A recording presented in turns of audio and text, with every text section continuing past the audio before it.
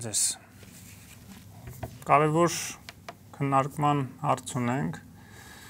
թե արդյոք Հայաստանը, հայությունը կարող է բարգավաճել այս տարածաշրջանում Մերձավոր Արաբելյան, որտեղ որ մենք հիմնականում շրջապատված ենք մամեդական բնակությամբ, դա նախ եւ առաջ քանակական հա տեսակետից ուրեմն թուրքերն են կամ թուրքերը որը ներառում է մի կողմից արևմտյան կողմից թուրքերին, արևելյան կողմից ադրբեջանցիներին, բայց նաև քրդերը, պարսիկները եւ նաև մի քիչ ավելի հեռու Դաղստանյան եւ Հյուսկովկասյան ընդհանրապես ժողովուրդները, որոնք եւս մամեդական են եւ այս պայմաններում արդյոք Հայաստանը հնարավորություն ունի զարգանալու, հզորանալու, բարգավաճելու եւ արդյոք դա կախված է մեր հարևաններից, թե նաեւ կախված է հենց մեզնից եւ արդյոք մենք կարողանանք հաղթահարել այն կարծրատիպերը եւ վախերը, որոնք խոչընդոտ են հանդիսանում հարաբերությունների հաստատման համար մեր հարևանների հետ, բոլոր հարևանների հետ։ Իսկ գաղտնիք չէ, որ նույնիսկ այն հարևանների հետ, օրինակ իրանցիների հետ, որոնք որ ըստ էության Հայաստան դաշնակից, նու բարեկամ երկիր են ամենայն դեպս, դաշնակից չեն, շատ հարցերում համագործակցում ենք, բայց բարեկամ երկիր են, բայց նույնիսկ Իրանից եկած օրինակ զբոսաշրջիկների հանդեպ Հայաստանում կա որոշակի կանխատրամադրված վերաբերմունք մի զգալի մասի մոտ հայության, ելի կապված նրա հետ, որ մենք խիստ բացասական եւ վախերով ենք ընդունում ցանկացած մամեդականի, մամեդական ժողովրդի։ Ուրեմն ինչ անել, որպեսզի մեր այդ կարծրատիպերը մամեդականների հանդեպ փոխվեն, վերանան եւ մենք ընկալենք ավելի adekvat մամեդականներին մանավանդ որ մենք խնդիր ենք ունենալու վաղ թե ուշ բացվելու նաև տարածաշրջանի հանդեպ ես նկատի ունեմ թե սահմանների տեսակետից եւ թե մենտալ տեսակետից եւ ինչքան էլ որ ժամանակակից տեխնոլոգիաները հնարավորություն են տալիս ապրելու վիրտուալ այսպես կյանքով վիրտուալ աշխարհում, բայց հողի վրա հարաբերությունները դեռ ոչ մեկ չի ուրեմն վերացրել։ Տեսեք, մահմեդականների հանդեպ հայ, հայկական վերաբերմունքը հիմնականում առնչվում է նրա հետ, որ անկալումը մահմեդականների որպես կանոն ծայրահեղականացված է, այսինքն մենք ընկալում ենք մահմեդականի որպես պարտադիր ծայրահեղական մահմեդական, մոլերանտ մահմեդական, խիստ կրոնավոր մահմեդական, որը չի անպատասխանում իրականությանը եւ մահմեդականներն էլ ինչպես եւ քրիստոնյաները էապես հակված են աշխարհի կյանքի եւ հատկապես երբ որ մենք վերցնում ենք այն երկրները, որոնք որ ունեն մամեդական համայնքներ, փոքրամասնություններ, եվրոպական երկրները հատկապես, մենք տեսնում ենք, որ այնտեղ շատ մեծապես աշխարհի կյանքով են ապրում մամեդականների բացարձակ մեծամասնությունը եւ միայն չնչին մասն է այնտեղ, որ օրինակ մշտապես հաճախում է մսկիթներ կամ ամբողջությամբ կատարում է մամեդական ծեսերը, հա, իրենց տնախմբությունները եւ այլն եւ այլն։ Եվ պատահական չի, որ եվրոպական երկրները իրենց ամբողջ ներուժը ինտեգրման եւ ուրեմն ադապտացման քաղաքականության կիրառում են հենց այն ուղղությամբ, որպիսի արմատականացումը իսլամի մեջ, այսինքն մամեդականության մեջ Եվրոպայում տեղի չունենա, այլ հակառակը տեղի ունենա ավելի աշխարհիկացում եւ իսլամի մեջ բարեփոխումներ իրականացնելու գործիքակազմ են ձևավորում։ Դա արվում է նաեւ չափավոր իսլամի զարգացման եւ հրախուսման միջոցով։ Եվ տեսեք, նույնիսկ երբ որ Ստրասբուրգում մեր հայրենակից քաղաքապետուհին ուրեմն առաջարկեց եւ ըստ էության այդ ծրագիրը հաստատված է, որ մեծ մսկիթ պետք է կառուցվի։ Այստեղ Հայաստանում շատերը դժգոհեցին, դա էլ ինչ հայ է, որ ուրեմն Ստրասբուրգում ֆինանսավորում է որպես քաղաքապետ Ստրասբուրգի ֆինանսավորում է եւ նախաձեռնում է նման ուրեմն մի ձեռնարկ մսկիթի կառուցում, բավականին խոշոր մսկիթի, առանց հասկանալու, իսկ միգուցե հենց նպատակ այն է, որպեսզի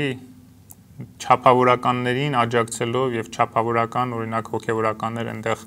հravirելով այդ մսկիթում քարոզելու ավելի խորացնի աշխարհիկացումը եւ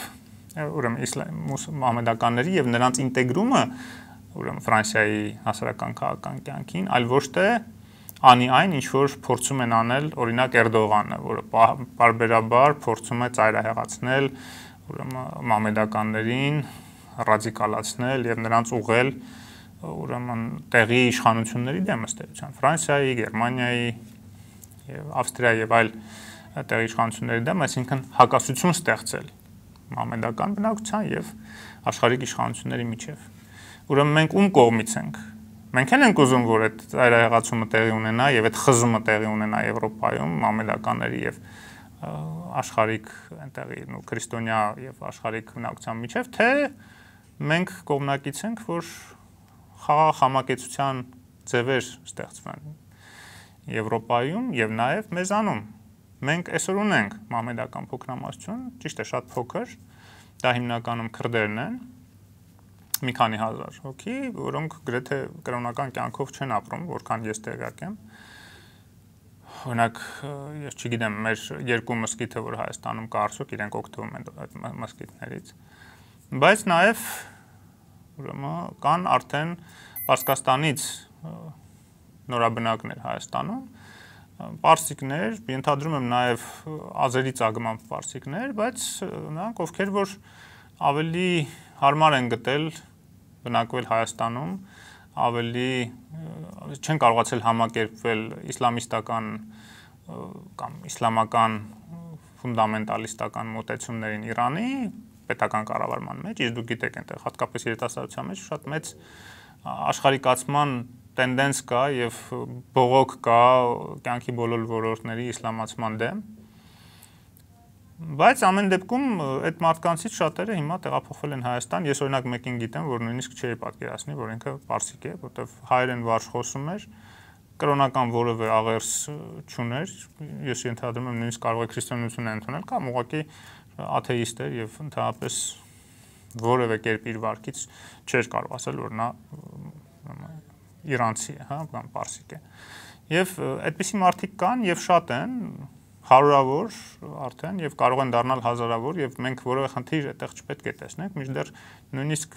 զբոսաշրջիկների պահով մեր հասարակության մեջ կան մարդիկ, որոնք այնպեսի վախերով են տոգորված, որ նույնիսկ նույն ասենք տարածքում պատրաստ չեն գտնվել այդ մարդկանց հետ։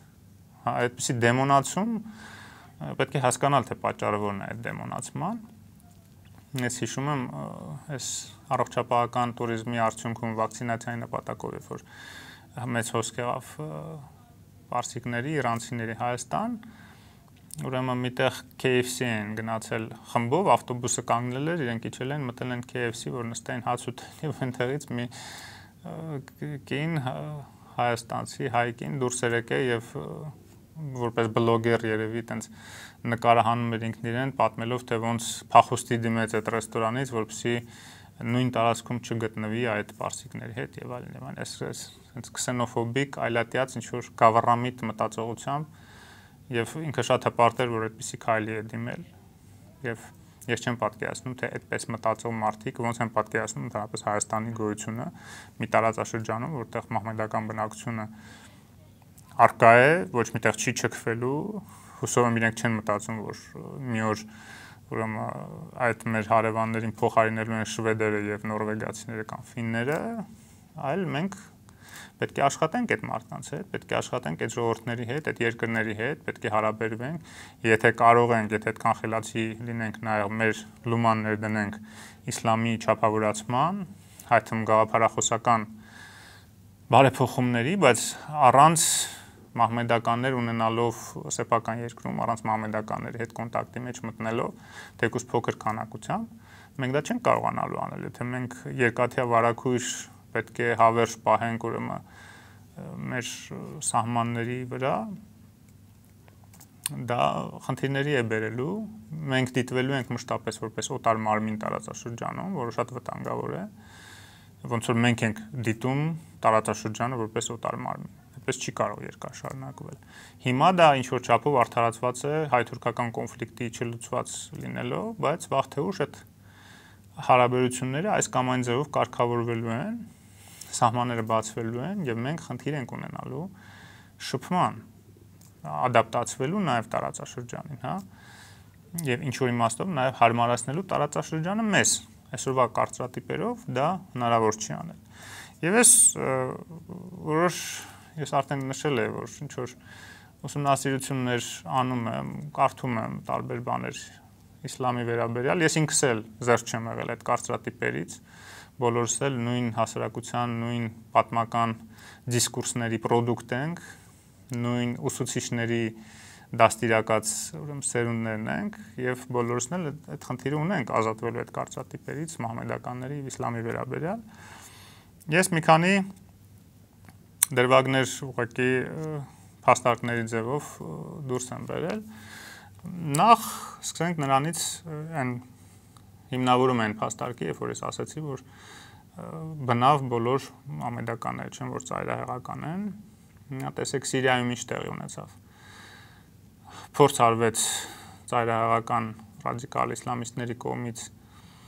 փոխել իշխանությունը եւ միայն այն, որ իրենք ներկայացնում են ոչ թե աշխարհիկ անդիմություն շատ փոքր մասներ անդիմադիրների, Ասպաշար Ասադի անդիմադիրների, փոքր մասներ աշխարհիկ եւ մեծ մասը դա ծայրահեղական իսլամիստներ են անթուփ միջև Աննուսրա կազմակերպությունը, որը Միացյալ Նահանգներն նույնիսկ ճանաչում է որպես ահաբեկչական կազմակերպություն, էլ չեմ խոսում ուրեմն իսլամական պետության մասին, հա։ Ջիփատ Աննուսրան, որի հետ անուղակի համագործակցություն կար նաև արևմուտքի կողմից եւ զինում, բայց ամեն դեպքում ճանաչվում է որպես իսլամական ուրեմն ահաբեկչական խմբավորում։ Բայց տեսեք, Սիրիայի ժողովուրդը իր մեծամասնությամբ դիմադրեց եւ հաղթեց, թույլ չտվեց այդ ծայրահեղականներին փոխել իշխանությունը, անկախ նրանից, որ Բաշար Ասադը ինքը ավտորիտար ամեն դեպքում առաջնորդ է եւ ներկայացնում է ընդ որում էթնիկ փոքրամասնություն նաև կրոնական ինչ որ իմաստով փոքրամասնություն ալևիներին սուննիական մեծամասնության մեջ, բայց այդ սուննի չափավոր մահմեդականները իրեն աջակցեցին, կռվեցին, ուրեմն նաև իր ղեկավարած բանակներում թույլ չտալու իսլամացում երկրի։ Եվ ընդամենը այսօր հյուսիսային մի հատվածն է, որ վերահսկվում է անդիմության կողմից, հիմնականում իսլամիստների, որոնց ներկայությունը մենք նաև այսպես ամբողջնեցինք Արցախում եւ Թուրքիայի կողմից իրենք այս կամ այն ձևով ուղղորդվում են եւ վերահսկվում են, հա, եւ մի մասն էլ քրդերն են, որոնք որ համագործակցում են ամեն դեպքում Ասադի հետ։ Մենք դա տեսանք նաեւ Եգիպտոսում, որտեղ որ այնտեղի հեղափոխությունից հետո ուրեմն արաբական գարուն կոչված, հա 11 թվականի իշխանության եկան մուսուլման եղբայրները, որոնք բավականին արմատական, ուրեմն մահմեդական խմբավորում են, բայց կար ժամանակ հետո բանակը հեղաշրջում արեց եւ Մուրսիին նախագահային Եգիպտոսի ընտրված նախագահային ուրեմն մեծամասնության կողմից կհանքեց անեցին եւ իշխանության եկավ Ասսիսին, որը որ ռազմական գործիչ է եւ միջև հիմա ինքը նաեւ ղեկավարում է երկիրը եւ դատարանների միջոցով բոլոր այդ ծայրահեղական իսլամիստներին գլխատեցին ու գլխատեցին նկատի ունեմ պարտադիր ֆիզիկապես, նաև մի մասը բանտերում է, մի մասին գնդակահարեցին, մի խոսքով դուրս մղեցին քաղաքական դաշտից եւ հանգիստ ղեկավարում է երկիրը, չնայած իր գլխի համար ուրեմն գումար է խոստացված տարբեր ծայրահական խմբավորումների կողմից, բայց ինքը կարողանում է կառավարել այդ հսկայական երկիրը Եգիպտոսը չափավորական սկզբունքներով ինչպես որ արաբական շատ երկրներում, հատկապես Հյուսիսային Աֆրիկայի, նույն Թունիսը, նույն Ալժիրը, այնպես որ այդ ծայրահեղական իսլամի ազդեցությունը բավականին փոքր է։ Մենք հաճախ մեր շատ հայրենակիցներ այսպես սրտնեղում են, որ ահա Եվրոպան իսլամանում է, Ֆրանսիան այլևս այն չէ, ուրեմն Մեծ Բրիտանիան սկսում են անվանել Լոնդոնիստան, այդպիսի բան կար, չէ, կամ Եվրաբիա են անվանում Եվրոպային։ Ակնարկելով, որ Արաբիայի հա այդ անվանման հետ ակնարկելով զուգահեռով ակնարկելով, որ այնտեղ արաբները շատացել են, իրականում եվրոպական երկրները, նույն այդ Ֆրանսիայում օրինակ մահմեդականները կազմում են 4-5%, հա, Բելգիայում 6-7% են, Գերմանիայում 8% են, այնպես որ միջև 10% նույնիսկ չեն հասնում, այսինքն պատկերացնում եք գերմանացիները 90-92% են, բայց հայերը այստեղ արդեն տրտանջում են, որ ահա Գերմանիայի վերջի եկել եւ իսլամանումը եւ այլն եւ այլն չհաշվելով չպատկերացնելով որ նույն Գերմանիայում նույն Ֆրանսիայում այդ մամեդականների բացարձակ մեծամասնությունը այս կամ այն չափով ինտեգրված է ֆրանսիական հասարակությանը եւ որովե ծայրահեղական դրսևորում ունի, ավելին իրենք դեմ են ծայրահեղականներին։ Մի հետարքիր փաստ բերեմ, Բելգիայում ուրեմն ձևավորվել 12 թվականին ձևավորվել էր իսլամիկ կուսակցություն կոչված մի կազմակերպություն, գրանցվել էր, որը օրինակ ջատագով է նրան, որ շարիատի օրենքները Բելգիայում հաստատվեն եւ իսլամի կանոնները գործեն ամբողջ Բելգիայում։ Բելգիայում ասացի արդեն 6-7% բնակչությունը մամեդական է եւ ձեր կարծիքով ինչքան եւ 14 թվականին մասնակցեց պարլամենտական ընտրություններին այդ կուսակցությունը ձեր կարծիքով ինչքան տոկոս կազմեց իր ցայները 0.2% 6% մամեդական բնակչություն ունեցող երկրում իսլամի քարոզանող քաղաքական կուսակցությունը հավաքել է 0.2%։ Ինչ է դա ասում։ Դա ասում է, որ մամեդական բնակչությունը չի ուզում շարիատի օրենքներով պետությունը ղեկավարվի ինքը կոպիտ ասած հազիվ են փախել այդ շարիատի օրենքների երկրներից եկել նորմալ բարեկեցիկ Եվրոպայում ապրելու եւ իրենք չեն ուզում մի հատ էլ այդտեղ ապականեն ու ուրեմն շատ դեպքերում ոչ մարդկային, շատ խիստ խստաշունչ օրենքներ ուրեմն այնտեղ կիրառվի։ Նույն Թուրքիան մեր հարևան բավականին սեկուլյար է եւ Էրդողանի իշխանության գալուց հետո է սկսվել ակտիվանալ իսլաման ցումը, հա, այդ գործընթացը, բայց նույնիսկ այդ պարագայում այնտեղ լուրջ դիմադրություն կա աշխարհիկ շերտերի կողմից, այնպես որ տարածաշրջանի հետ հարաբերվելու մեծ պոտենցիալ կա, եթե մահմեդականությունը մեր համար այդպիսի դեմոնացված վախերի պատճառ հանդիսացող մի երևույթ չլինի, որը որ մեր ընկալումների հարցն է շատ դեպքերում, քան իրական ուրեմն այնպիսի խնդիր, որը որ ես չեմ ասում ռիսկեր չկան։ Իհարկե կան մեծ ռիսկեր, բայց ամեն դեպքում այդ ռիսկերը պետք է ճիշտ գնահատել եւ չափել։ Ֆրանսիայում նախորդ դարաշրջին,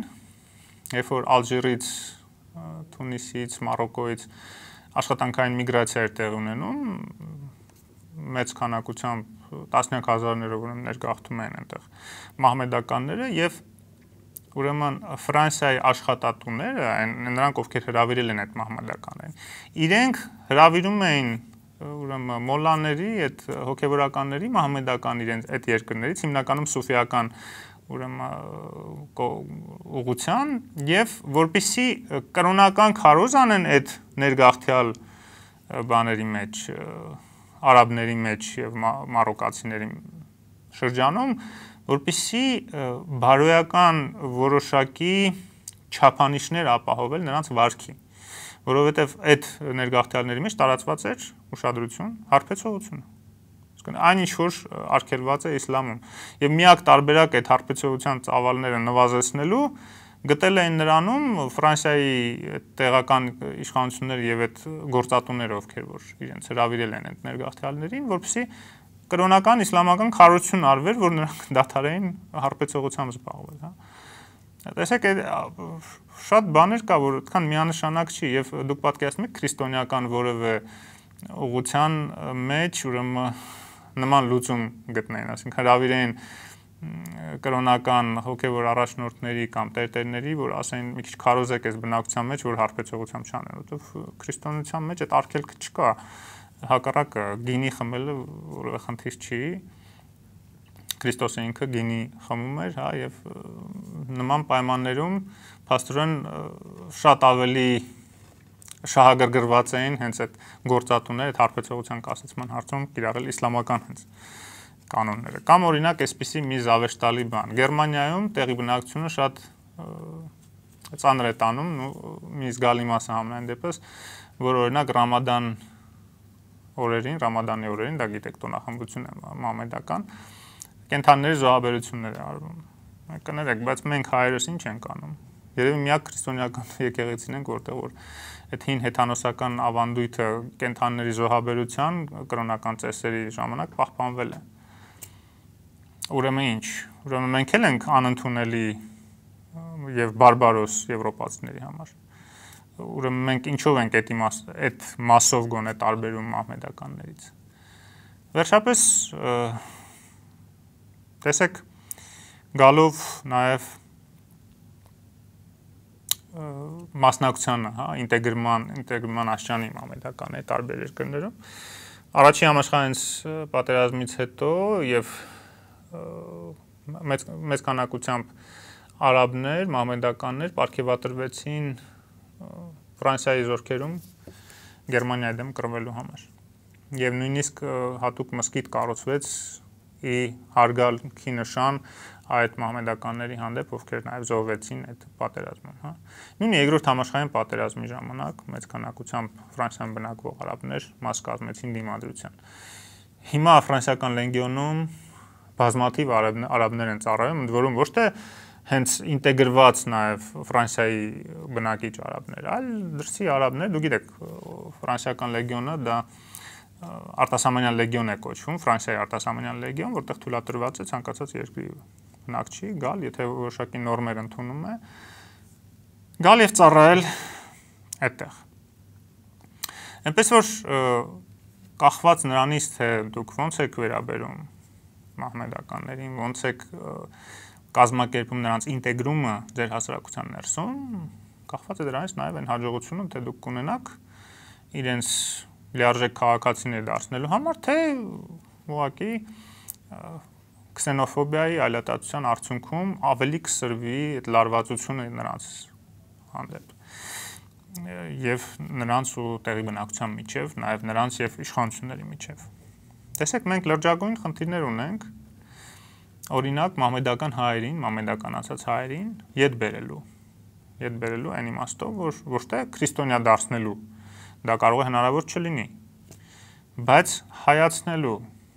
Իսկ մենք նման ռեսուրս ունենք Թուրքիայում, միլիոնավոր հայեր, Հրանտ ինքը խոսում էր 4 միլիոն հայերի մասին, վերջի գենետիկ հետազոտությունները ցույց են տալիս, որ այդ թիվը կարող է շատ ավելի մեծ լինել։ 10-20 միլիոնի կարող է հասնել այն մարդկանց էթնիկ ծագման մասով, որ որոնք որ Պարզվի որ հայ են իրենց էթնիկությամբ, շատ իմաստներով նաև մշակութային էլեմենտներ են պահել նաև Մենք միջև հիմա գիտենք դերսիմի զազաների, քրդերի, քրդերի մեջ հայկական էթնիկ բաղադրիչի մասին Հրանուշ Խարացյանը շատ հետաքրքիր հետազոտություններ արել այդ մասին եւ նաեւ մյուս տարածքներում Համշինահայմի մասին էլ չեմ ասում որ մեծ մասը գիտեք մահմեդական են խեմշիլ են ասում իրենց բայց իրենց ինքնագիտակցության հարց կա հիմա մենք ոնց ենք պատկերացնում այդ մարդկանց այսպես ճակերտավոր ասած, դարձի բերելու, հայկականացնելու, եթե չենք պատրաստվում հետները շփվել, աշխատել, եթե վախենում ենք, որ նույնիսկ մի քանի հոգի իրենցից գան Հայաստան, իսկ ժամանակին այդպեսի խնդիր է եղել Ուզբեկստանից, եթե չեմ սխալվում, մի քանի հազար մամեդականացած հայեր խորթային միության փլուզումից հետո ուզեցել են հայրենադարձվել Հայաստան, այստեղի ղեկավարությունը նաև ուրեմն հոգեվորականների ազդեցության ներքո դեմ է եղել եւ թույլ չի տվել այսպիսի կարծրատիպային գավառամիտ մոտեցումների արդյունքում մենք ռեսուրսներ ենք կորցնում իսկ մենք եթե այսպիսի փոքր քանակով մնանք, նույնիսկ եթե մեր մոտ դեմոգրաֆիական խնդիր, ասենք ծնելիությունը եւ այլն ավելանա, նույնիսկ եթե արտագաղթը պակասի, մենք չենք կարող հզոր պետություն ստեղծել 4-5 միլիոն մարդով։ Այսօր սկի դա չկանք, հա, 2.5 ռեալ 2.5 միլիոն բնակչություն եթե լինի Հայաստանում, լավ է տնտեսության զարգացման նաև համար է, ել չեմ խոսում մարդուն բանակի մարտունակության համար։ Ուրեմն մենք պետք է մի կողմ դնենք այդ կարծրատիպերը, կրոնական կարծրատիպերը եւ առաջնորդվենք քաղաքացիականությամբ, այսինքն ազգ պետություն գաղափարով, որը ենթադրում է իր մեջ, որ բոլոր տվյալ երկրի բոլոր բնակիչները այդ ազգի ներկայացուցիչներն են անկախ իրենց էթնիկ, կրոնական եւ այլ պատկանելությունից, այսինքն եթե օրինակ կան Հայաստանում, կան Հայաստանում տասնյակ հազարավոր եզդիներ, իրենք էթնիկ առումով եզդի են, իսկ քաղաքացիական իմաստով հայ են։ Հայաստանի Հանրապետության քաղաքացի են։ Իրենք հայերին հավասար հարկեր են վճարում, հայերի կողք կողքի ուսուսի տված կռվում են պատերազմում եւ շենացնում են մեր երկիրը իրենց մասով։ Ուրեմն մարդկային ռեսուրսը շատ կարևոր է։ Այսօր մենք ունենք օրինակ հնդիկ ներգաղթյալներ, որոնք տնտեսության շատ ճյուղերում ուղակի փրկության փրկություն են տնտեսվարողների համար, որտեղ մենք գիտենք, որ այսօր բազմաթիվ աշխատատեղեր կան, որոնք չեն համալրվում հայերով, որտեղ հայերը չեն ուզում այդ աշխատանքի վրա աշխատել այդ վարչատրությամբ ամենայն դեպս, որը որ կա։ Հիմնականում դա սև սևագործ կվալիֆիկացիա, ոչ բարձր կվալիֆիկացիա պահանջող աշխատատեղերն են եւ խոսեք գործարարների հետ դուք կտեսնեք, որ հնդիկները ինչ որ էական նիշա են զբաղացնում, ինչ որ էական խնդիրներ են լուծում իրենց ներկայությամբ, իրենց աշխատանքով մեր տնտեսության մեջ։ Հիմա ինչով է դա վատ, ասենք, ինչի մենք պետք է վատ դրան վերաբերենք, որ Հայաստանում կարող են ապրեն մի քանի տասնյակ հազար օրինակ հնդիկներ։ Ինչ պետք է անեն այդ հնդիկները։ Բազմանան ավելի արագ քան հայերը լծվեն, Հայաստան լցնեն, հայերին ուրեմն ճնշեն։ Այսինքն վախերի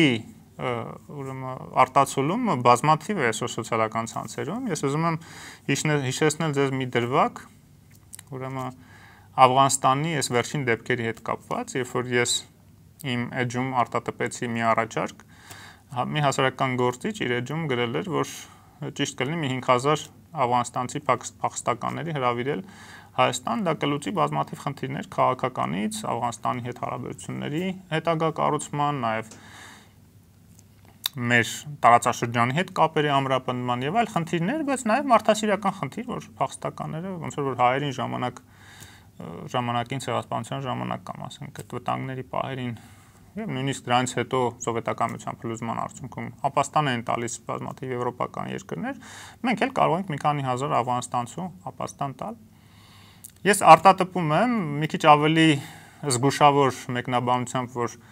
միգուցե այդքան միանգամից պետք չէ այդ ամեն չանել, միգուցե նաև թալիբներին ճանաչելու նաև առաջարկ կար, ես ասում եմ, որ պետք է դա մի հատ կոնսուլտացիաներ անել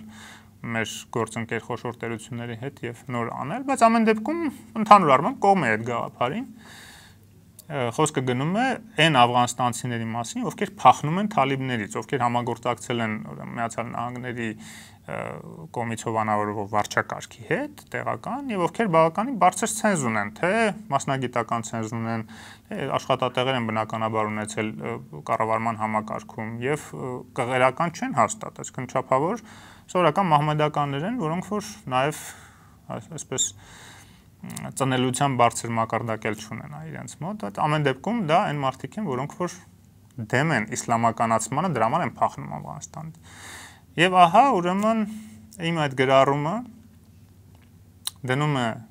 մի լրատվամիջոց, վախենում եմ նույնիսկ լրատվամիջոց անվանել, մամուլ եմ կոչվող, հա, իմացեք տարբեր դեղին մամուլի գրչակներին։ Եվ ուրեմն իմ նկարի կողքին դնում է թալիբների նկարը, ավտոմատներով եւ նռնականատերով եւ գրում է, որ ահա Հովսեփ Խուրշուդյանը առաջարկում է մի քանի հազար աֆղանստանցի ուրեմն ապաստան տալ Հայաստանում։ Կարծես թե ես այդ թալիբներին պետք է առաջարկում է թալիբներին, այդ զինված ավտոմատներով, նռնականատներով թալիբներին առաջարկում է բերել Հայաստան։ Ու այս ու տակը գնում է մի վախերի ու տարակուսանքի տարապ բնականաբար լայքեր հավաքող այդ լրատվամիջոցները ված ծառայություն են մատուցում, ուղղճացնելով եւ խտացնելով արդեն առանց այն էլ արկա մեր հասարակության մեջ արկա վախերը, որը որ անընդունելի է։ Բայց համենայն դեպս հետարքիր այդ վախերը երբ որ տակ արտացոլվեցին, հա, հետարքիր հետևություններ նաև արեցի ես այն իմաստով, որ հնարավորություն ստեղծվեց հասկանալու թե ինչու են այդ վախերը հիմնականում Հայաստանում։ Ну Օրինակ դրանցից մեկը այն է, որ մտավախություն կար, որ եթե մենք հիմա 1000 աֆղանստանցի հրավիրենք, ընդ որում այդ աֆղանստանցիներն էլ տարբեր են։ Դուք գիտեք, այնտեղ տարբեր էթնիկ բաղադրություն ունեցող մարդիկ կան, օրինակ տաջիկներն էլ աֆղանստանցի են։ Աֆղանստանի հյուսիսում ապրում են ուզբեկներ, տաջիկներ, հազարեականներ, ընդհանրապես որոնք շիա են, ասենք ինչպես որ իրանցիները հարևան եւ դա էլ դեռ պետք է քննարկել, հա, քննարկելու առարկա էր, բայց այդ այդ ամեն ինչը, քանի որ կարծատիպերի միջոցով է գնահատվում, ավանսի ասելով պատկերացնում են այն ինչ որ անդադ տեսնում են հերոստատեսությամբ, այսինքն թալիբներին, ավտոմատներով, նռնականետներով թալիբներին եւ երբ որ դու ասում ես ապաստան կարելի է տալ մի քանի հազար հոգի, ենք պատկերացնում որ հա այդ թալիբները հեսա գալու են լցվեն եւ սկսեն բազմանալ նախ եւ առաջ, որովհետեւ հիմնական վախը դա էր, որ ուրեմն շատերն են գրում, գիտեք, եթե մենք 1000 ավանսի հրավիրենք, ընդամենը 10 տարում դրանք կդառնան 1 միլիոն ուշադրություն։ Դա բառացի ցիտում եմ որոշ մարդկանց, որոնք իրենց ուրեմն բանական մարդ են համարում, հա, ուրեմն իրենք համարում են, որ 1000 հոգին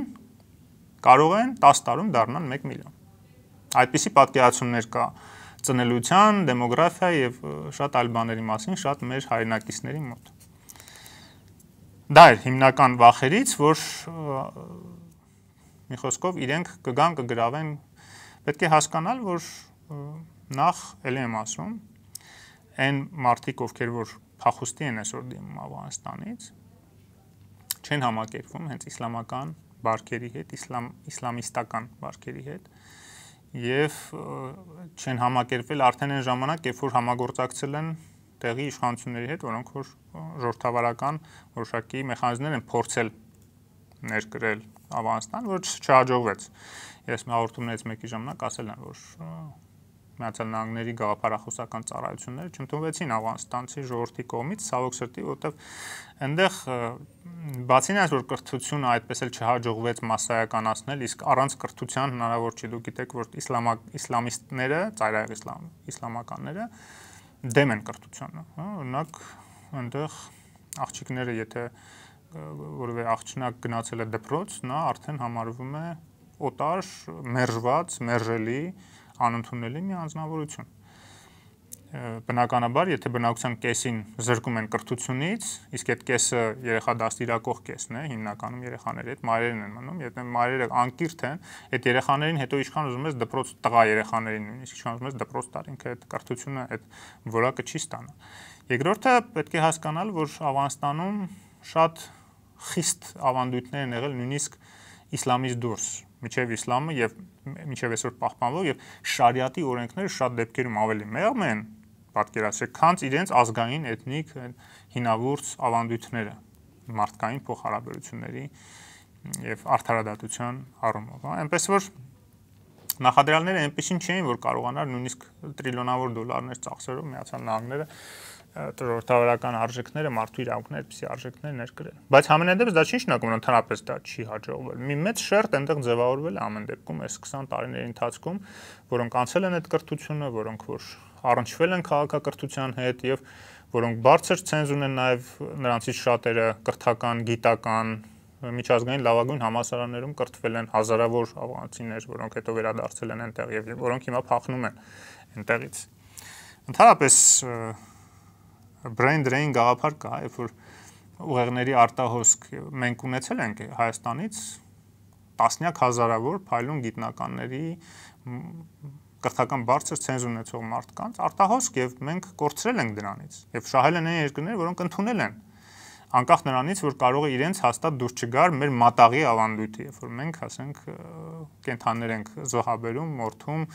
երեխաների ներկայությամբ եւ հետո արյունը քսում ենք երեխայի ճակատին, նրանց կարող է դա բարբարոսություն տվել, բայց ամենայն դեպս նրանք ընդունել են, ինտեգրել են եւ այդ այդքան ծանր չեն տարել այդ ամեն ինչը եւ այնտեղի հայերը այսօր բաղկացուցիչ մասն են, ինչպես եւ մահմեդականներ իրենց երկրների։ Հիմա մենք պատրաստվում ենք ազգ պետություն կառուցել, թե մենք էթնիկ պետության մակարդակում ենք մնալու եւ ազգային շահ ասելով մենք հասկանալու ենք էթնիկ շահը, այլ ոչ թե պետական շահը։ Հենց մեզանից է կախված, մենք դա պետք է հասկանանք, հենց որ մենք դա կողմնորոշվենք, որոշենք թե որն է մեր համար ազգային շահը եւ հասկանանք, որ այն խնդրեմը, որ էթնիկության պահպանման, որ մենք ունեցել ենք պետություն չունեցած պարագայում, մենք պետք է դադարենք դրան դուրք տալու, որտեղ մենք այսօր ունենք արդեն պետություն։ Եվ պետությունն է հիմնական գրավականը մեր, եւ էթնիկ ինքնության պահպանման, եւ ինչ որ իմաստով կրոնական ինքնության պահպանման, բայց նաեւ ոչ կրոնական, ուրեմն աշխարհայացքի ձևավորման այդ ամբողջը ամբողջի երաշխավորը ազատությունների եւ արժեքների երաշխավորը պետությունն է ուրեմն ամեն ինչ ինչ որ ուժեղացնում է պետությունը մարդկային ռեսուրսը տնտեսությունը բանակը այդ ամբողջը ուրեմն մեր ազգային շահերն են, նշանակում պետական շահերն են։ Իսկ եթե մենք ներփակվենք մեր էթնիկ կրոնական գավառամիտ ինչ որ մոտեցումների մեջ, մենք չենք ունենա հզոր պետություն երբևէ։ Եվ բարեբախտաբար այս տրենդները եւ տենդենսները Հայաստանում ցույց են տալիս, որ մենք գնում ենք դեպի ավելի բացվելու աշխարհի հանդեպ, նաեւ տարածաշրջանի հանդեպ բացվելու գործընթացը եւ մենք այդ ազգ պետության գաղափարին կամած-կամած ընտելանում ենք, կամած-կամած հաստատվում է դա եւ նույն ներգաղթյա աշխատողները իսկ որքան հզորանա եւ հարստանա Հայաստանը մենք պետք է պատրաստ լինենք այնքան ավելի մեծ թվով ուրեմն արտասահմանցիներ ընդունել, բարձր ոչ Եվրոպայից, բայց նաև Եվրոպայից, բայց հիմնականում տարածաշրջանի աղքատ երկրներից եւ մենք պետք է կամած-կամած սովորենք